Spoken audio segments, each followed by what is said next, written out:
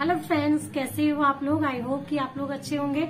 मैं भी बहुत अच्छी हूँ। आज मैं आप लोगों से डायरेक्ट ऑन कैमरा पूछ रही हूँ कि स्वस्थ हैं, मस्त हैं अपने अपने कामों में व्यस्त हैं।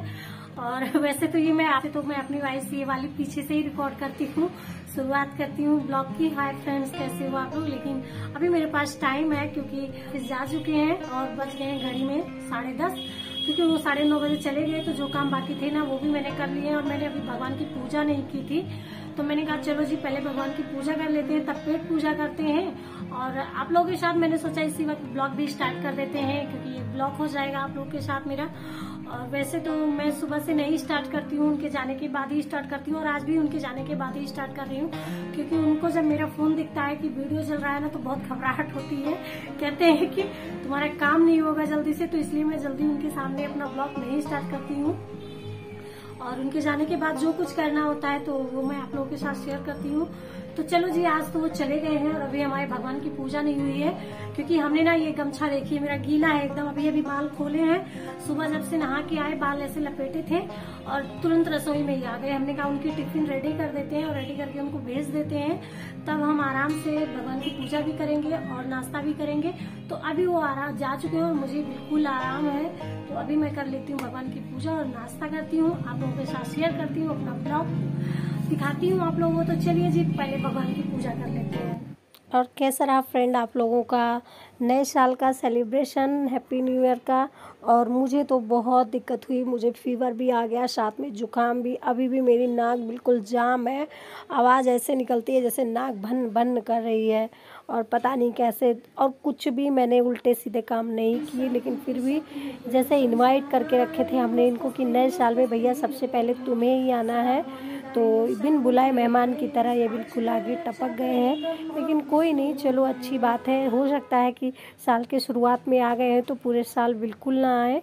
और मैं मैं यही जानती हूँ ना कि लोग कहते हैं कि पहले साल ये करोगे तो पूरे साल ये करोगे लेकिन मैं ऐसा कुछ भी नहीं मानती। और अभी आ गई हूँ मैं अपने किचन में तो ये मैंने आटे को ना ढक के रख दिया था क्योंकि मैंने उनके लिए ही रोटी और पराठे दोनों बनाए थे। पराठे उन्होंने खाए हैं रोटी लेके गए हैं और ये मैं दूध में फूक मार के चाय के लिए दूध डाल रही हूँ क्योंकि इसमें बहुत मोटी साड़ी है तो दूध चाय में ना आ जाए।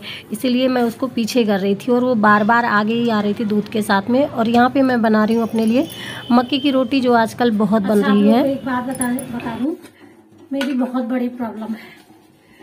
अभी जैसे फ़ोन देख लेती हूँ शॉर्ट वीडियो जो होते हैं ना तो उन गानों को थोड़ा ऐसे गुनगुनाती रहती हूँ। मुझे अच्छे लगते हैं ये जो शॉर्ट वीडियो भोजपुरी वाले होते हैं। तो अभी मैं सुबह से यही गाना गुनगुना रही थी कि करिया करिया रसगुल्ला, रसदार रंजा जी, करिया करिया रसगुल्ला। रसदार राजा जी, एगो करिए सिलादा एगो करिए सिलादा सलवार राजा जी, एगो करिए सिलादा सलवार राजा जी। तो मेरे मेरे हस्बैंड ऑफ़िस जा रहे थे ना, बोल रहे थे, ये सब तुम्हारे मांगने के बहुत तरीके हैं। जैसे तुम ऐसे सुना रही हो मुझे कि जो है, अब, अभी एक पीला मंगवाए तो अब एक काला भी चाहिए। अभी कल मेरे लिए मीशो से जो है एक सूट ऑर्डर किए हैं और बहुत मतलब हो गया, मीशो का तो जानते ही कितना लेट आता है। तो एक टॉप, एक सूट और एक मैंने अपने फ़ोन से एक नेकलेस जो है ऑनलाइन ऑर्डर किया था। मेरे फ़ोन से नहीं करने देते हैं, बोलते हैं कि तुम नहीं करो। जानते हैं कि अगर मैं सीख गई ना तो घर के सारे पैसे चौपटा भाए रहेंगे। फ़िलहाल ऐसा करूँगी नहीं, लेकिन उनको डर रहता है कि अगर मैं मैं सीख क्या गई? अगर मैंने अपने फ़ोन से ऑर्डर करना शुरू कर दिया तो जो कुछ बचे रहते हैं घर में, वो भी नहीं बचेंगे। तो इसलिए थोड़ा मुझे डांटते हैं, अपने फ़ोन से नहीं करने देते। और उन्हीं के फ़ोन से मैं कुछ भी हो तो उन्हीं के फ़ोन से मंगवाती हूँ। और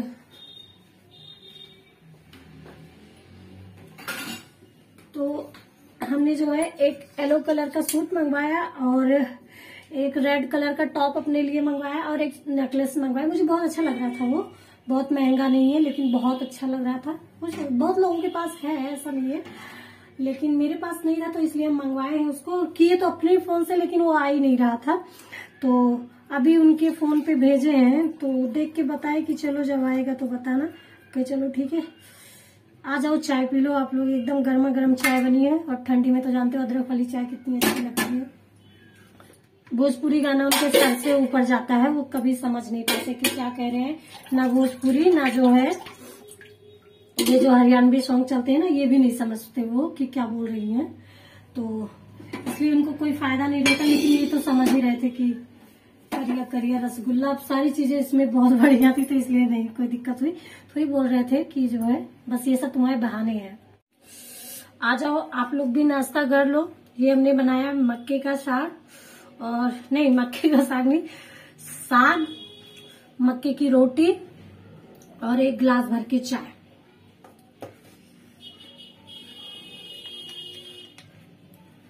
देखिए, कैसा लगा नाश्ता मेरा? आ जाओ मेरे साथ में। बोलो जी, नाश्ता मेरा तैयार हो गया, अब हम जा रहे हैं नाश्ता करने, क्योंकि पेट में ना एकदम चूहे तबाही मज़ा रखे हैं, एकदम भूख लगी है, और जब मुझे भूख लग जाती है तो मेरे पेट में दर्द होने लगता है। तो अभी मैं नाश्ता कर लेती हूँ, नहीं तो बहुत टेंशन हो जाएगी। और आज हमने आप लोगों से बहुत सारी बातें कर ली, क्योंकि अभी टाइम था ना तो इसलिए कोई दिक्कत नहीं हुई। और यहाँ पे मेरे बाल ना नाश्ता करते करते एकदम सूख गए थे तो मुझे खुले बाल बिल्कुल अच्छे नहीं लगते। आप लोग देखते होंगे, मैं ज़्यादा खुले बाल नहीं रखती। तो मैं जैसे ही मेरे बाल सूख जाते हैं ना, मैं ऐसे जुड़ा कर लेती हूँ। और रात में भी मैं ऐसे ही क्लेचर लगा के लेती हूँ, पता नहीं कैसे मैं सो जाती हूँ, लगाने में मुझे आसान रहता है, मेरे बाल ना खुले बस। तो मेरे हस्बैंड बोल रहे थे, तुम पहली महिला हो कि तुम बाल में क्लेचर लगा के सोती हो लोग जो है, रिबन लगा के सोते हैं या क्या लास्टिक लगा के सोते हैं, लेकिन तुम हो कि क्लेचर लगा के सोती हो? तो मैंने कहा हाँ मुझे जूड़ा ना खुले बस, मुझे बाल खुले बिल्कुल अच्छे नहीं लगते। और यहाँ पे ना कम्बल भी फोल्ड नहीं था तो हम तो पहले ही उठ जाते हैं, लेकिन वो बाद में उठते हैं तो जब वो उठते हैं ना साढ़े आठ बजे, तब तक हम किचन में हो जाते हैं तो ये पड़ा ही रह जाता है। तो फिर जब नाश्ता हो गया तो हमने कहा, चलो, अब ये भी निपटा देते हैं इसी साथ में। और यहाँ पे आ गए हम दूसरे कमरे में। तो जब पोछा लगा रहे थे तो इस सोफे को रख दिए थे ऊपर, और जो बाथरूम में हमने किचन के डस्टर वस्टर धुल के रखे थे तो वो भी सूख गए हैं तो वो सब भी इसी पे ला के रख दिए थे। तो यहाँ पे खाना खाने के बाद मुझे बहुत तेज़ ठंड लग गई थी। और मैंने स्वेटर डाल लिया है क्योंकि अभी ठंड लगी रहती है ना तो कोई काम नहीं होता है।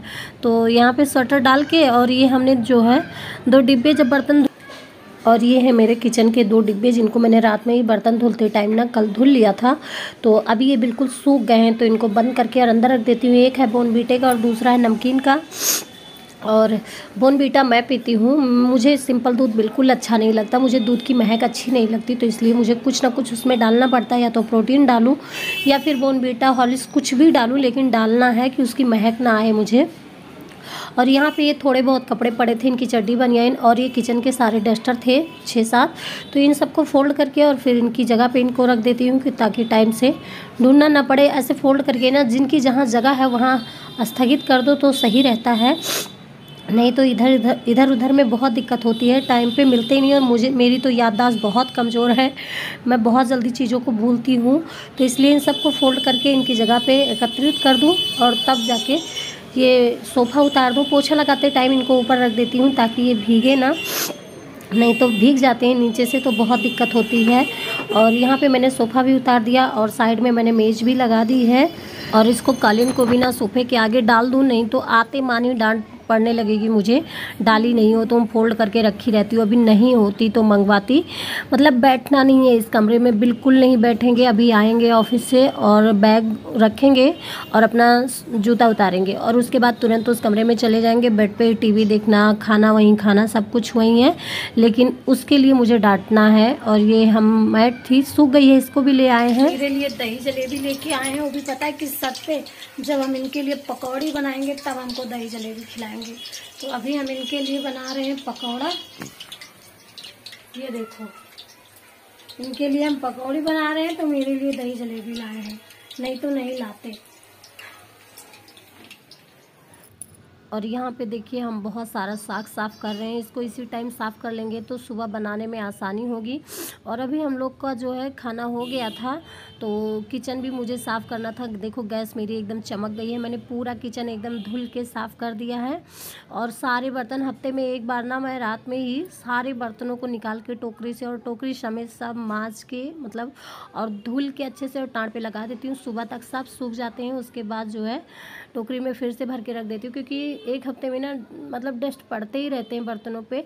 जो यूज़ हुए तो हुए, नहीं हुए तो वो तो पड़े के पड़े ही रह जाते हैं। तो इसलिए मैं साफ़ कर लेती हूँ। और यहाँ पे मैं बना रही हूँ, ये दूसरे दिन सुबह की क्लिप है। तो यहाँ पे मैं बना रही हूँ आलू, पालक, बैगन, टमाटर का साग। और इसमें हमने लहसुन, मिर्चा, मेथी और हींग का तड़का देके और उसके बाद जो है बैगन डाल दिया था और टमाटर डाल दिया था। जब मेरे बैगन और टमाटर पक गए ना तो हमने फिर उसी में पालक डाल दी। जब थोड़ी सी मेरी पालक गल गई, तब हम डाले हैं आलू और लास्ट में आलू डाल के और ढक दिए दो। और तब तक हम बना ले रहे हैं मसूर दाल का पराठा। जब तक मेरा साग पक रहा है, दाल मेरी रात की बची हुई है तो कभी हम दाल को फेंकते नहीं, ऐसे आटे में गूंद के और पराठा बना लेते हैं। और इसका बहुत अच्छा और बहुत खस्ता पराठा बनता है। बहुत खाने में अच्छा भी लगता है, बहुत टेस्टी होता है। तो चलो जी, मिलते हैं अगले ब्लॉग में, तब तक के लिए बाय बाय, अपना बहुत सारा